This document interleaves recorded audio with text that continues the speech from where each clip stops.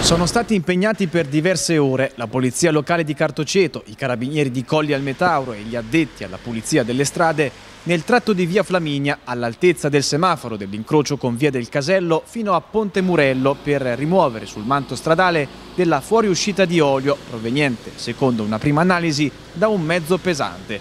Il fatto è accaduto nell'orario che va dalle 13 alle ore 15. Sul posto è intervenuto anche il sindaco di Cartoceto Enrico Rossi che oltre ad aver visto la situazione ha lanciato un appello per rintracciare il responsabile. Sì, c'è stato questo sversamento di olio presumibilmente, ma è soltanto un'ipotesi, da un eh, trattore agricolo o forse anche da un eh, mezzo pesante in alcune vie eh, cittadine di Lucrezia, via Casello, via De Amicis e via Foscolo per l'esattezza, ma soprattutto che ha interessato il tratto di via Flaminia lato, lato Fano. Mi sento in dovere di eh, fare un appello a, agli residenti, agli abitanti di queste, di queste zone affinché eh, se avessero